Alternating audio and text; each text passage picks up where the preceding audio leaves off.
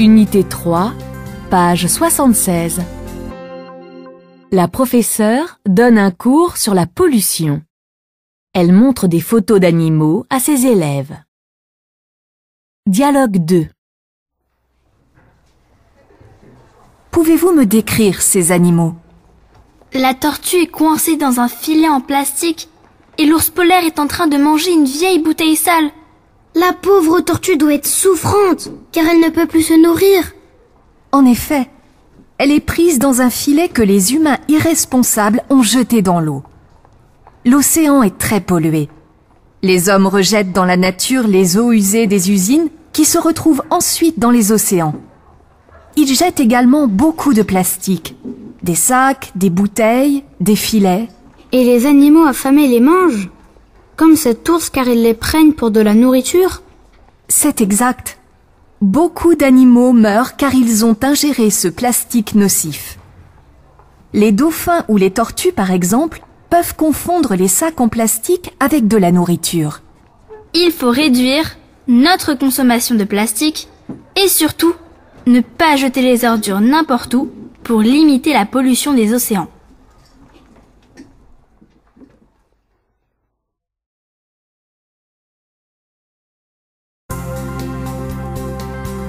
Unité 3, page 76. La professeure donne un cours sur la pollution. Elle montre des photos d'animaux à ses élèves. Dialogue 2.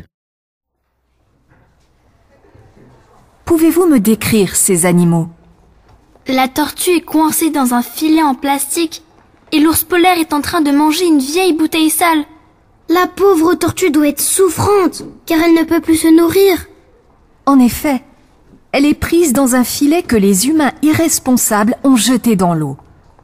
L'océan est très pollué. Les hommes rejettent dans la nature les eaux usées des usines qui se retrouvent ensuite dans les océans. Ils jettent également beaucoup de plastique. Des sacs, des bouteilles, des filets. Et les animaux affamés les mangent Comme cet ours car ils les prennent pour de la nourriture C'est exact. Beaucoup d'animaux meurent car ils ont ingéré ce plastique nocif. Les dauphins ou les tortues, par exemple, peuvent confondre les sacs en plastique avec de la nourriture. Il faut réduire notre consommation de plastique et surtout ne pas jeter les ordures n'importe où pour limiter la pollution des océans.